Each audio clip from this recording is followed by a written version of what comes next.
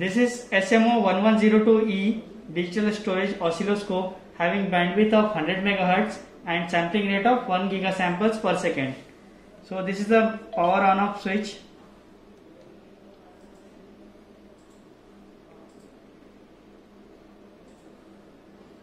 So these are the two input channel terminals. This channel 1, this channel 2, this is for external trigger. So this is volt per division channel 1, this is volt per division channel 2.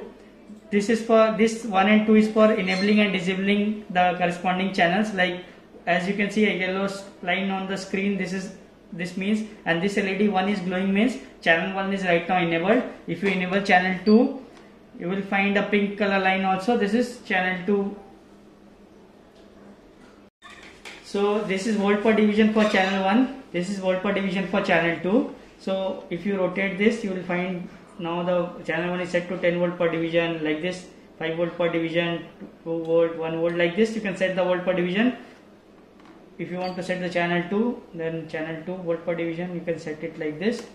And this is the time time base and this is common for both the channels. If you increase or decrease the time base this is common to all means both the channels.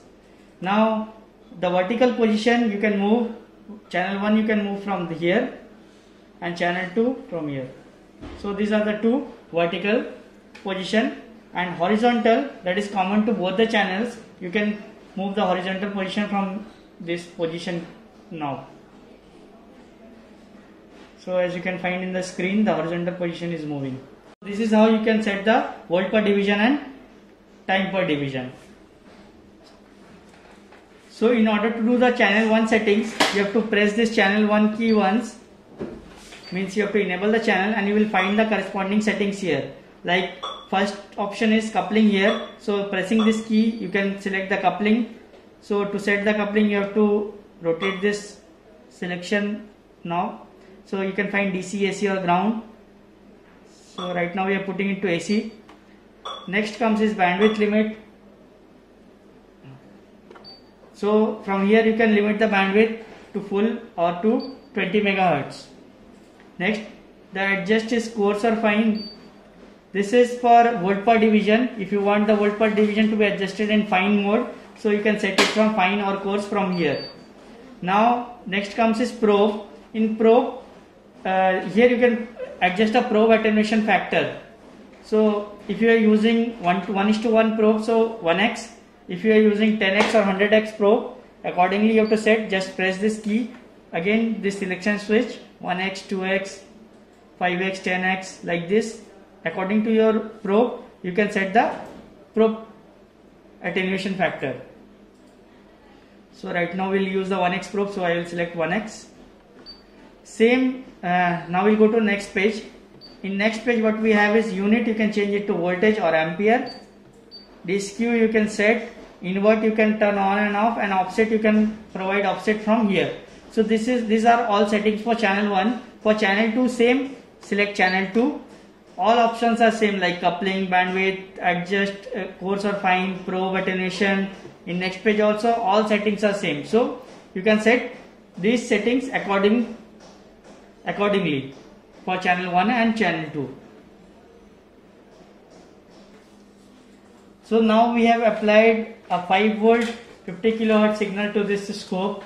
So as you can see the frequency it is reading as 50 kilohertz and volt per division channel 1 volt per division is at 1 volt. So it is covering 1, 2, 3, 4, 5, 5 boxes. So this is 5 volt peak to peak 50 kilohertz signal and the time base is now at 10 microsecond per division. Same signal if I apply to channel 2. So we'll turn off this channel 1, enable the channel 2, press this auto setup. So same signal now you can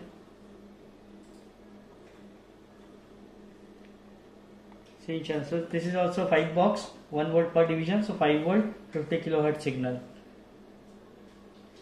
So now we'll come to the functions. So first one is cursor. If you go to cursor, you can set the cursor and measure the signal. So right now this is in horizontal. First comes the mode. so you can have manual track mode so we'll put it to manual source you can select it from here and if you want X cursor that the vertical lines so you have to select this if you want horizontal cursor Y so you have to select this so if we want to measure the amplitude of the signal we'll select Y cursor. You can have both also X and Y. So you, if you want to measure the amplitude of the signal so we'll select Y cursor and we'll move this potentiometer. So again if you press this you will see the second one it gets highlighted. And if you put the cursor from so now the cursor measurement you can find it here. So you can see y1 is at 2.5 y2 is 2.5 and total is 5 volt peak to peak. So this is how you can do the cursor measurement. Same if you want to do the x x1 so like this you have to set. Same process. Pushing this will move the cursor from cursor A to cursor B so this is how you can do time measurement. So right now you can see it is coming as 20 microsecond. And the frequency is coming as 50 kilohertz. So this is how this is all about cursor. Next comes acquire. In acquire you can have the acquisition first. So you can have normal peak detect average or e resolution so we'll put it to normal. To select just press this now we'll turn off the cursor. You can turn the XY on or off. If you turn this on this is the XY mode. Next is sequence. In sequence you can put the equation mode to on and you can have you can define the maximum number of segments here. From here you can select the memory depth. So this is maximum 14 mega points in next page what we have is interpolation. You can change the interpolation x sin x y x and acquisition mode. You can you can set the acquisition mode from here.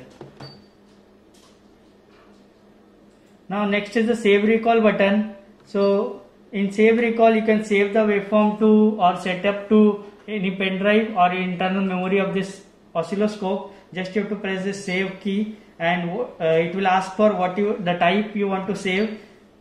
Here are all parameters like set if you want to uh, set save the setups. So setups reference bmp jpg png in if you want in csv format you can select it from here. So type you have to define first suppose if i want jpg then i'll go to jpg and select jpg screen normal or inverted like this and pressing this key will save so you have to connect a USB and then it will be saved to the USB pen drive. Next is measure. In measure, the options we get is first one is source. You have to select the source as we have applied signal to and the channel 1 is only enabled so only it is showing channel 1 you can if you enable channel 2 you will get channel 2 z1 z2 math reference a reference b according to accordingly. So you have to select the source first then then comes type. Whatever you want in screen that you have to that you have to check the box. Like peak to peak now peak to peak is already displaying. If you want frequency also to be displayed here. So you have to scroll to frequency. So like this we can scroll.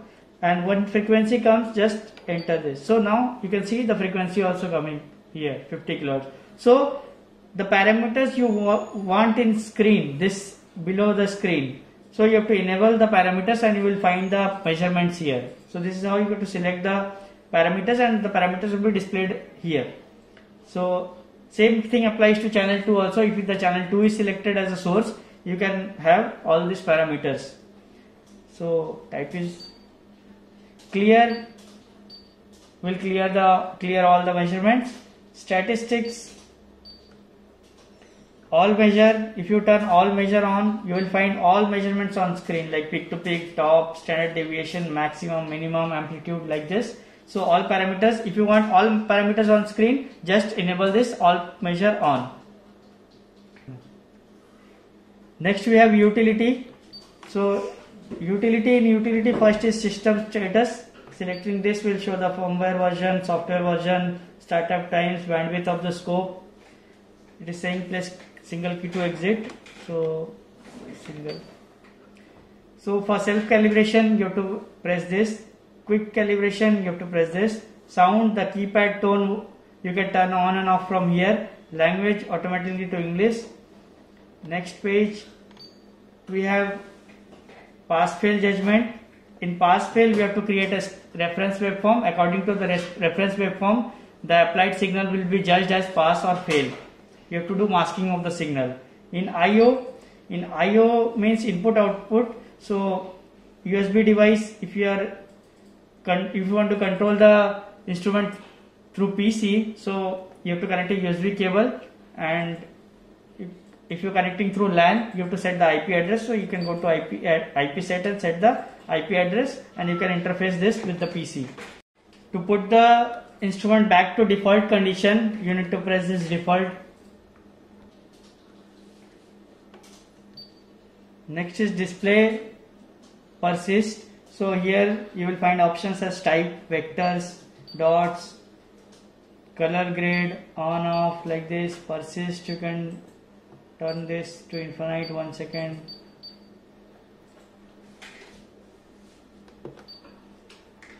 Next page we have grade in grade you can select the grid type as none four boxes like this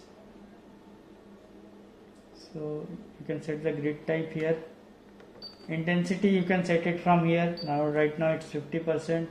You can increase or decrease the intensity. Graticule also you can increase or decrease the intensity of the graticules. Transparency. So this is all about display persist. This print key is used when you insert a USB stick here and you want the screenshot of this screen just insert a USB disk here and just press this print key. So it will store the snapshot of this whole screen. Next is history. This is used to record the events. Just press this key and you can find the events here. Like if the interval is set to 10 microsecond, it has automatically captured 392 events. This is the run stop key. Right now the signal is triggered. You can stop a signal by pressing this run stop. Auto setup. Auto setup will automatically trigger the signal on screen. Now we have some trigger options here trigger setting options here. So first one is setup. So in trigger setup first comes type. In type we have different trigger options as edge slope pulse video window. So according to your application you can select. Source trigger source you can select. Channel 1 channel 2 external or AC line slope rising falling or alter alternate. Hold off. You can provide the time hold off time from here. Coupling you can DC AC low frequency reject high frequency reject you can select it from here. Noise rejection you can turn and off on and off from here. So these are all settings for trigger set all trigger settings. So, and next we have this auto glowing here. It means the instrument is now triggered automatically. We can set it to normal or we can set it to single. Single trigger what it will do is whenever signal will be triggered on screen it will automatically stop the signal. As you saw as I pressed single the, the instrument went to stop mode. So in single trigger whenever a first event comes the instrument will automatically trigger and it will capture the signal and stop. And next is trigger level. The trigger level you can set it from this potentiometer. So as you can see on screen the trigger level is varying. So this from this you can set the trigger level. There's a roll mode in this instrument. We'll put the put back to auto. There's a roll mode in this instrument. So roll mode so this is roll mode. As you can see the waveform moving horizontally. So let's suppose this is the sine wave signal. When I change it to square wave so you can see the signal change from sine to square. Again if I change it to sine wave sorry I change it to triangle wave then again sine wave. So this is how means this is a continuation signal. The changes in the signal will come in continuation. So this is all about roll mode. So next comes math math operations. So we'll enable math from here and the options you will find as first is operator. What what you want to do in math operation like addition subtraction multiplication division fft dt so this you can select it from here. Next comes source so as we have applied signal to channel 1 we have selected source as channel 1 so this yellow color line is our source line and source B. Now if you are putting signal to both the channels and you want to perform math operations like addition subtraction division so what we'll do is we'll apply one signal to this channel 1 port other signal to this channel 2 port and we'll select source A as channel 1 and source B as channel 2 so what it will do it will do is it will perform the addition of both the channels and it will show the result in this white color. As we have selected source and source B both channel 1 so it is showing the addition of channel 1 the bigger the white waveform as you can see on screen is the addition of the yellow signal. Invert you can turn on and off invert from here scale you can set the scaling from here and position you can set it from here. So this is math operation so right now what you are seeing on screen is a 5 volt signal and the addition is a 10 volt signal means 5 5 plus 5 10 so if I put it to minus, so 5 minus 5, it should come at the center of the screen. The white line should come at the center. So as I go to minus operation,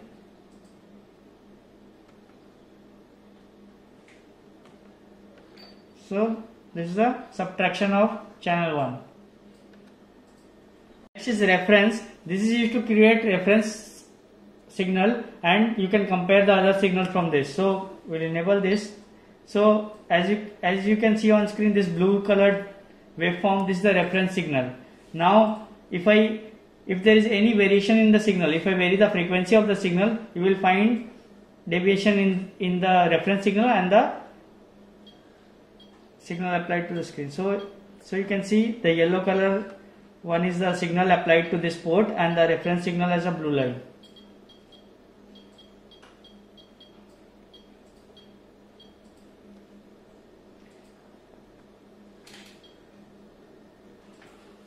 Now we, we have one more port as external. So this is used when you want to trigger external complex signals. So when you apply asynchronous, you have to apply asynchronous signal to this port and you will find the signal is not getting triggered on screen. So same signal, same synchronous signal you have to apply in the external trigger port. So you will find the signal getting triggered on screen. And this 1 kilohertz signal is for probe compensation. You, have, you can compensate your probe using this signal. You have to connect your probe to this channel and the other end to this two points ground to ground and the positive to 1 kilowatt signal you will find a square wave here and you can adjust the overshoot and undershoot of the probe from this.